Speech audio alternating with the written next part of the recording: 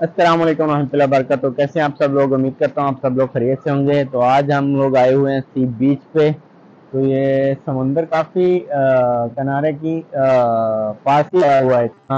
ज़्यादा आज शोर कर रहा है समंदर। हवाएँ चल रही हैं और ठंडा और काफ़ी ठंडी हवा चल रही है।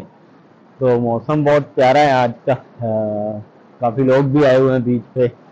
तो बहुत ही खूबसूरत मौसम है। आप लोग भी विज़िट कर सकते हैं आज के दिन समुंदर का। तो ये है जिस समुंदर ओमान ओमान मस्कत में आ, एक एरिया है सीब। सीब में हम लोग खड़े हुए हैं। ये सीब का एरिया है। आ, तो आज बहुत ही खूबसूरत मौसम है। सुबह टाइम तो बहुत ज़्यादा गर्मी थी अब काफ़ी ज़्यादा ठंड महसूस हो रही है क्योंकि ओमान में इतनी सर्दी नहीं पड़ती। इस दफ़ा तो बहुत ही कम सर्दी पड़ी है। बस एक एक महीना ही सर्दी हुई है तो बाकी तो पूरा अभी गर्मी स्टार्ट होगी। दिन के टाइम इतनी गर्मी होती है कि एसी के बिना आप, आप नहीं न रह सकते। तो पहले एक महीना बस था कि एसी बंद हुआ अभी तो एसी भी चल रहे हैं। और दिन के टाइम काफ़ी ज़्यादा हीट होती है बाहर।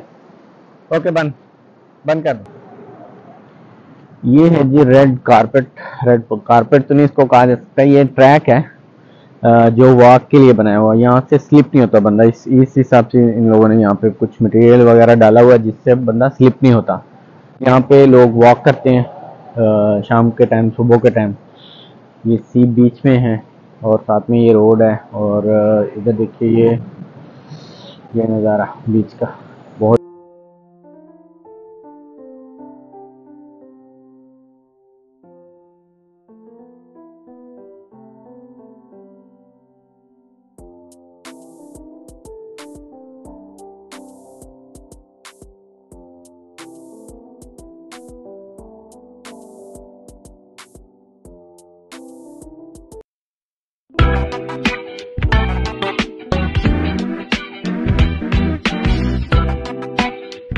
Thank you.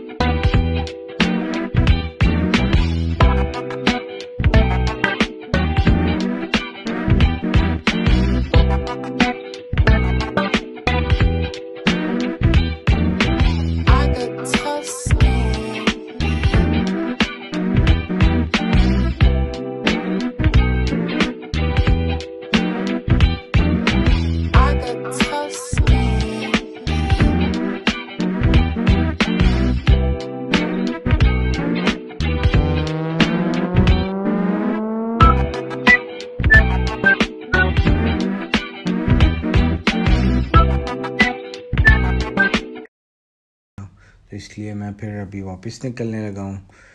तो इन फिर नेक्स्ट व्लॉग में मुलाकात होगी। तब तक अपना ख्याल रखिएगा और अल्लाह हाफिज़।